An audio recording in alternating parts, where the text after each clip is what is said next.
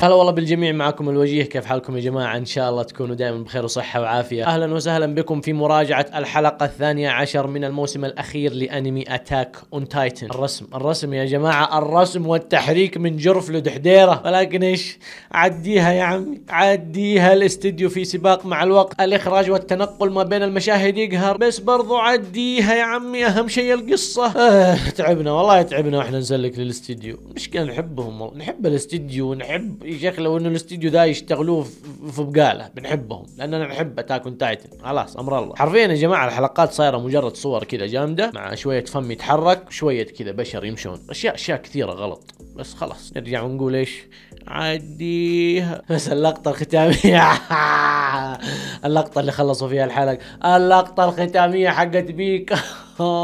طيب حبيبي الوجيه وقبل نبدأ في الفيديو إذا ما كنت مشترك في القناة يسعدني جدا اشتراكك. ولو أعجبك الفيديو لا تنسى تسوي like لأنه مرة مرة مهم وبيساعدني كثير. ما يحتاج كل مرة أذكرك قديش الإعجاب مهم. هاي لا تنسى. وتعالوا تابعوني على مواقع التواصل الاجتماعي حساباتي كلها موجودة في الوصف وتحت نفس الاسم وجيه أوتو. حلقة اليوم بالرغم من إنها فوضوية إلى حد كبير إلا إنها حطتنا أمام عدة أمور. حلقة اليوم تقول لك يا حبيبي استعد للفوضى القادمة استعد للفوضى اللي مخبيها لنا الكاتب ولا نقدر نجزم يقينا أي نوع من الفوضى راح نواجه في الحلقات القادمة ولكن الأكيد إنه بتصير حوسة ودوسة ما الله بها عليم. وخلينا نقول الله يستر بس الله يستر. خلونا نبدأ نلخص أهم الأفكار السياسية لخطة إيرين وزيك اللي انكشفت في حلقة اليوم. علشان نعرف ونتأكد قد إيش إيرين وزيك فعلا ما يستهان فيهم وهم الوحيدين تقريبا اللي عارفين يلعبون اللعبة السياسية بالطريقة الصحيحة. الحرب ما تعرف حب وحبيب ولا تعرف صديق وصديقة. الحرب اسمها حرب.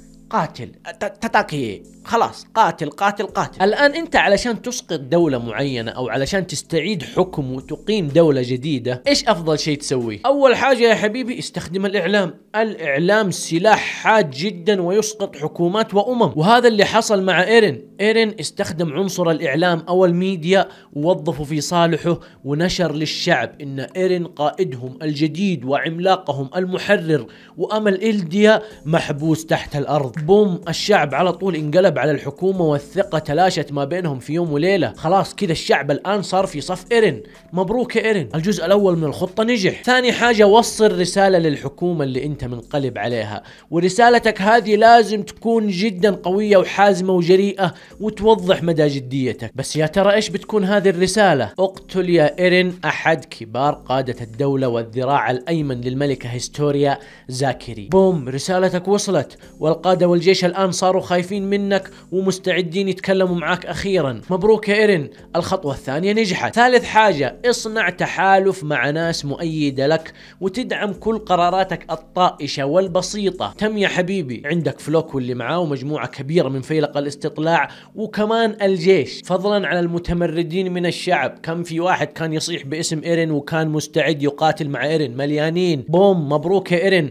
أنت الآن أسست جيش وأتباع لك وكمان مؤيدين لك من عامة الشعب. يا سلام كذا الخطوة الثالثة مشيت. رابعا أخلق فوضى وزعزع الثقة ما بين صفوف قوات الدولة. خلي الصديق يشك في صديقه. خلي القائد يشك في الحرس اللي حوالينه. خلي الناس تتخبط في بعضها وتقرر إنها ترجع لك أنت في النهاية. بوم هذا اللي حصل. الآن فيلق الاستطلاع مشكوك في أمرهم إنهم موالين لإيرين. والجيش كمان خايف إنه في بينهم كمان خونة تسببوا في تفجير زاكري. والقوات العسكرية كمان خايفين إنه يجيهم الدور ويروحون فصفص في انفجار جديد. إيرين وزيك يا جماعة وصلوا بقوة وعزيمة بارادايس وخسفوا بها إلى القاع. أولاد ييجر يا جماعة وراهم مصيبة كبيرة. أولاد ييجر قاعدين يلعبوا اللعبة الحربية والسياسية بالطريقة الصحيحة. يا لطيف بس يا لطيف. أي نعم هي طريقة غير أخلاقية اللي ماشيين عليها زيك وإيرن. ولكن هذا الواقع الغاية تبرر الوسيلة. ما فيش يما ارحميني خلاص أنت في حرب يا حبيبي. خامس حاجة يا حبيبي عين قادة أوفياء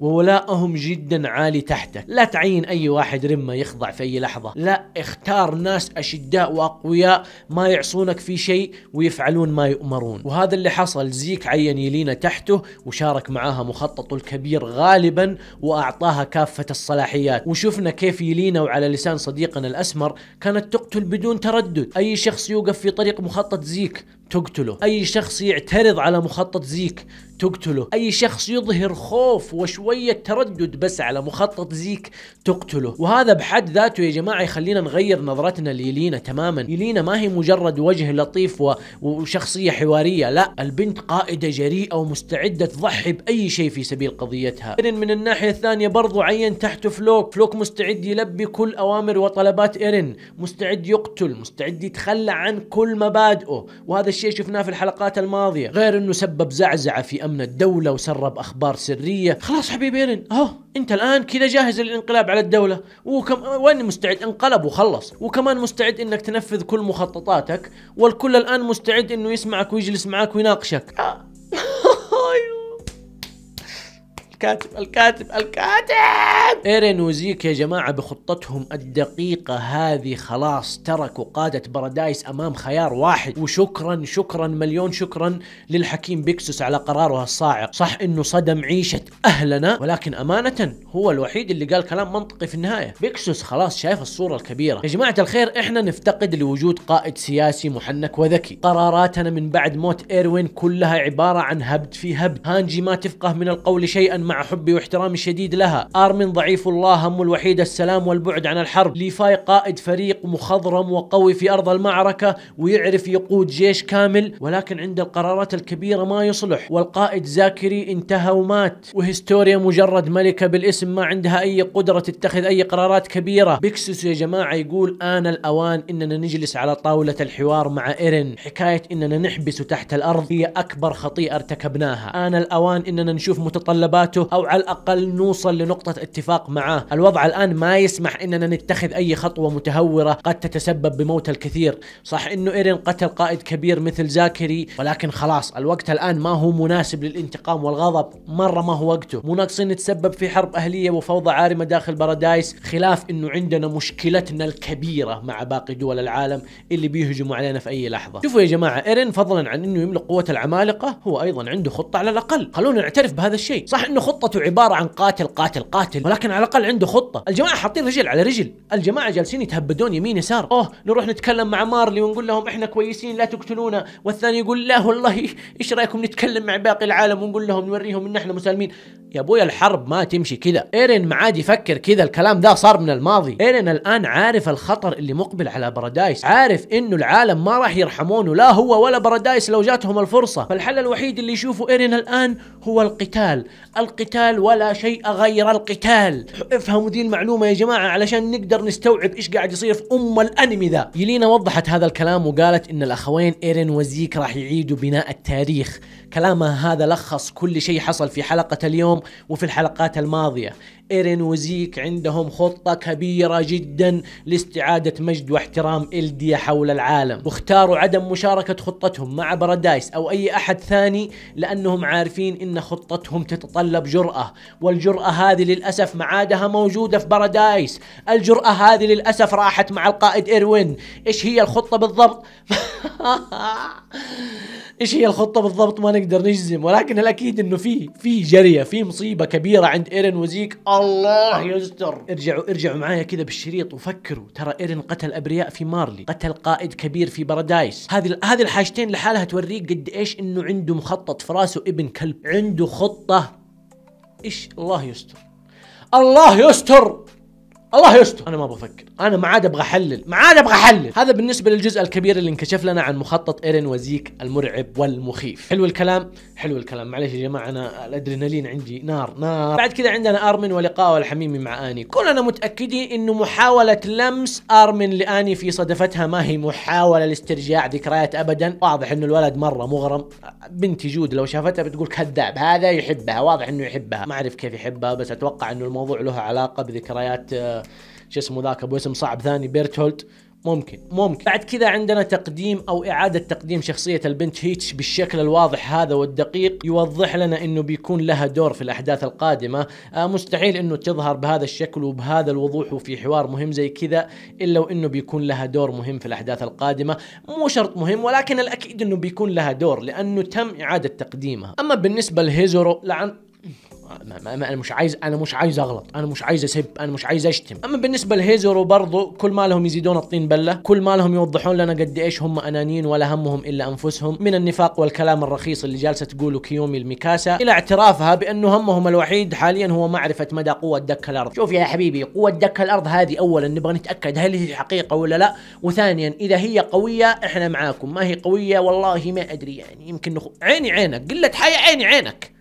عيني عينك. بعيد عن الفوضى يا جماعة اللي حصلت ما بين صفوف فيلق الاستطلاع والجيش. ال- هذا يشك في هذا. ميكاسا شكلك انت معاه صح؟ أرمن انت انت صارت فوضى. هانجي فجأة قررت إنها تروح إلى المطعم اللي فيه نيكولو. لأنه هانجي أصلا ورقتها انحرقت. خلاص ما ما هي قادرة تتخذ قرارات زي الناس. وجابت أم العيد لأنه طلع في جواسيس عندها أكثر من مرة وما هي دارية عنهم. فالجماعة خلاص قالوا لها كرتك محروق لازم تتصرفي. إيش قالت يا حبيبي؟ قالت هانجي امشي ومشينا للمطعم نروح عند نيكولو. ليش نروح عند نيكولو يعني على أمل إننا إيش ممكن نسترجع ونستخرج بعض المعلومات منه. لعله نيكولو هذا يكون جزء من خطة زيك وإيرن بطريقة ما أو لعله يعرف شيء مفيد. نيكولو اللي هو الطباخ حبيب ساشا في حال إنك نسيت يعني. والمؤسف والمخيف انه عائلة ساشا مع جابي وفالكو موجودين في هذاك المطعم. لأنه لو فاكرين نيكولو لما كان في المقبرة عند ساشا أو عند قبر ساشا قابل أمها وأبوها وقال لهم يا جماعة والله أنا كنت بحب بنتكو وبحترمها كثير وكانت تحب أكلي فتعالوا يا جماعة عندي المطعم وأبغاكم تاكلوا من أكلي اللي ساشا كانت مرة تحبه. حلو الكلام.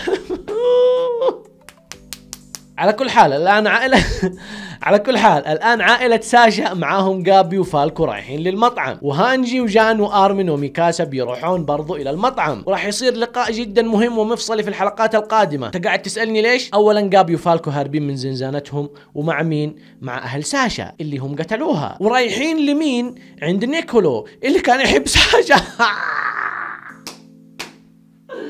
إيش تبغى تسوي فينا يا إيساياما أوكي هدوء. كل هذا كوم ونهاية الحلقة كوم ثاني. لما جات الكاميرا على بيك. والله يا جات صرخة. والله يا جات صرخة. آه! بيك! إيش تسوي أنت هنا؟ بدري لسه بدري.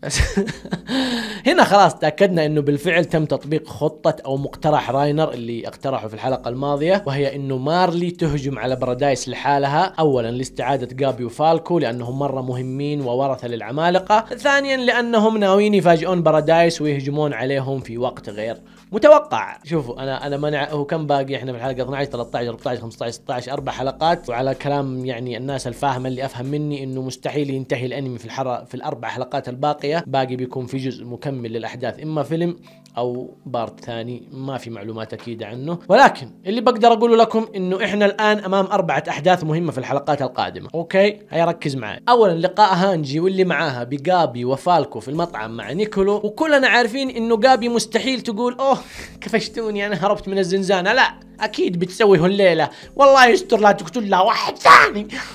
ثانيا بنشوف سبب وجود بيك الحقيقي وإيش الخطة اللي ناويه عليها ومين معاها ومين ما هو معاها. ثالثا لقاء ارمن وميكاسا اللي أشغل أمنا فيه. ارمن طول الحلقة. ارمن ضعيف. والله ارمن ذا مسكين. ارمن ذا يا أخي يبغى لكم تكفتوا امه هناك هناك في في مارلي يتصفق يتلطم يعرف قيمته ك ك كالدي ويرجع.